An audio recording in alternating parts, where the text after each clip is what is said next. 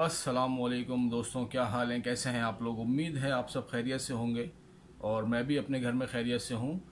आज आप लोग जानते हैं कि 23 मार्च का दिन है, योम पाकिस्तान। आज के दिन हम बहुत खुशी से और बहुत जोशो खरोश से सेलिब्रेशन हम करते हैं आज के दिन की। मगर क्योंकि कोरोना वायरस की वजह से लॉकडाउन चल रहा है, हम लोग सब अपने अपने घरों में बैठे हुए हैं और हम घर में बैठ के ही इस दिन को एंजॉय कर रहे हैं। और लॉकडाउन भी आपकी सेफ्टी के लिए किया गया है।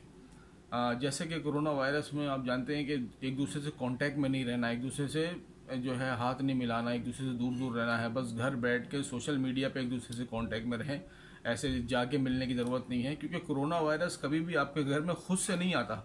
हमेशा आप इसको बाहर जाके खुद लेकर आते हैं अपने घर में।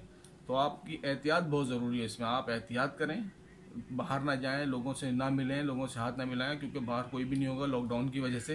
तो आप घरों में बैठ के इस दिन को एंजॉय करें। आई होप आप अपनी फैमिली का ख्याल रखें, अपना ख्याल रखें और थैंक यू सो मच